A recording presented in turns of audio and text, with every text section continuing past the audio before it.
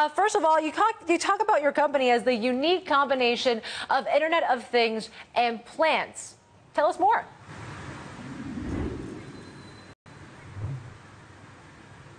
Yeah, sure.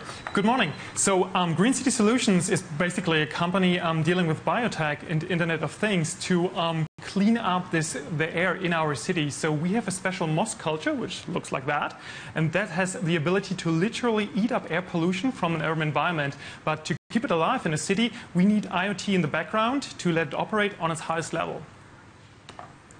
All right, so this moss that you showed us is part of this bigger uh, city tree system that uh, you guys have been highlighted here, this air, purifi air purification structure.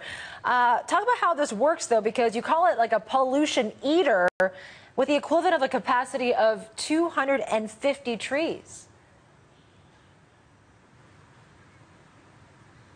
Exactly. So what we do is we take this moss culture supported by the IoT and wrap it into a complete solution for an urban environment. And it looks like a four meter high vertical plant display but not with plants, but the moss culture. And it has the ability to literally eat up the air pollution from the urban environment, attracting it by an electrostatic effect and converting it into its own biomass. So it has literally the ability to clean urban air on four square meters on ground as good as 250 trees. Okay, so how many of these do we need to really improve the air quality of, say, you know, where you are in Wan Chai in Hong Kong? I mean, how do you see this disrupting the industry?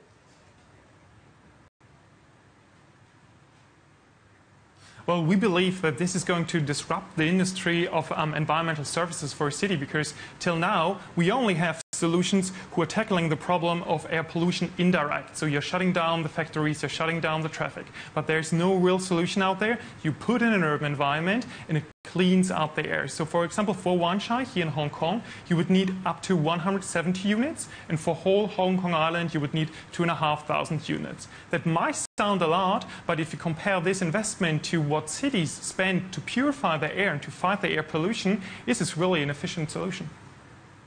All right. Well, you know, your startup uh, was one of the eight that were picked by Infinity, where you are at the lab right now in Wan Chai. Uh, this 12-week accelerator program. Well, tell us more about it.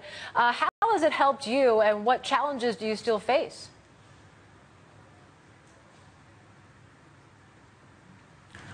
For us, the program with Infinity and Nest here in Hong Kong was a really, really important point to make the first step from um, Europe into the Asian market. So we got a lot of support.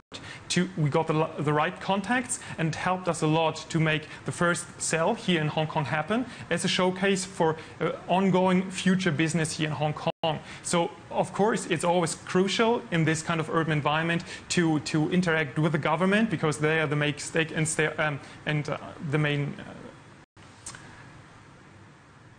the main holder right, of the right. of the shares, in fact, about the city and environment. So we think um, this is crucial to speak to them and to make a good job together with the government, who's keen to get solutions like that into the city.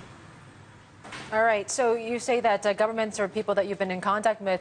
Uh, who else are you targeting for this product, and any attractions so far?